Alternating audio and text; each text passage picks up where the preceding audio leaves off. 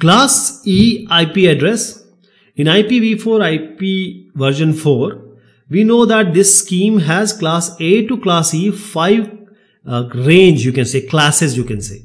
Okay? So these are the four octets and these four octets are represented in decimal and they are these decimal are uh, have, are having dotted dots in between.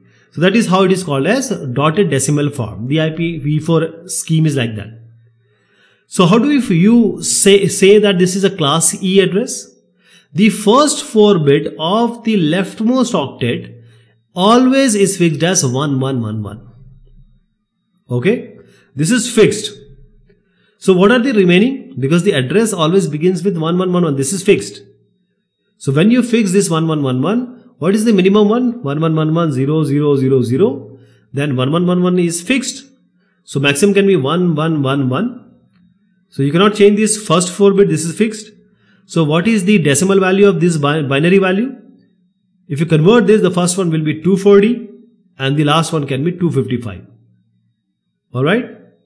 So the IP is ranging like that. So the first octet, if it is between 240 and 255, you can safely say this is a class E address. As we discussed in class D, because class D is all about multicasting, so there will be a multicasting group address. Every IP address consists of a network address and a host address. So the subnet mask work is to take out the or find out the network address. But as in class D, we don't need any network address because it is multicasting. Similarly, in class C, this, this is reserved for future use for the R&D purpose. That is why we don't need an I, a subnet subnet mask. Okay. So that is why this class E, like class D, is not having any subnet mask.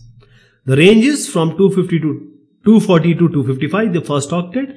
So this is an example of class E. Don't worry about 164, 89, 28. If it is starting from 243, it is quite clear that it is between 240 and 255. This is a class E address.